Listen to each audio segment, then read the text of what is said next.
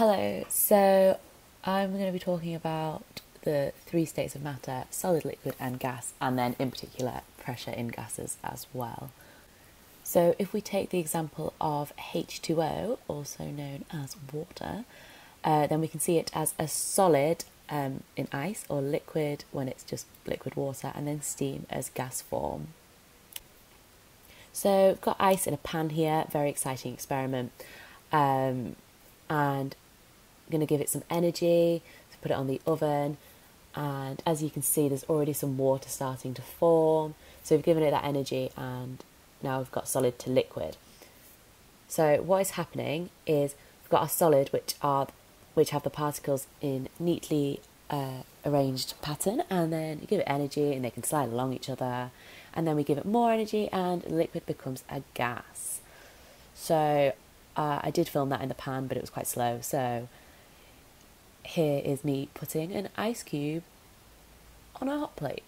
So you got a solid to a liquid, and you can see the gas coming off as well. It kind of all happens at once, but the pan thing was really slow. Obvious. So now we're going to talk about pressure in gases, and what happens here is that I put some boiling water in this little bottle thing that I found, and then I'm putting a balloon over the top.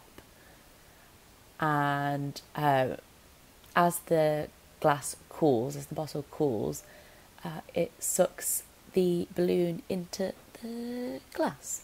But it happens super slowly, uh, so you can fast forward this. But you can kind of see that it's got a bit vacuumy in the balloon, but it does go in, it just takes forever. So you can fast forward this bit to see it. I couldn't work out how to speed up video up.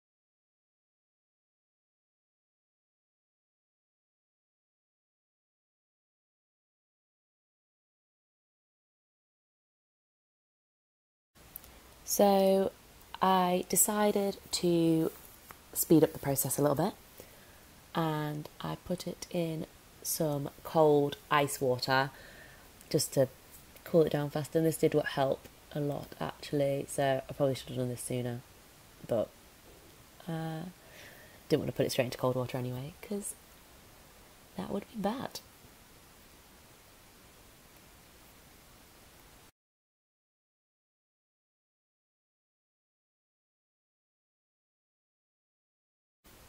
So this is where it actually kind of works. Um, eventually, as you can see, the balloon is really like vacuumed up, but there, just stick it in some cold water and the balloon goes in.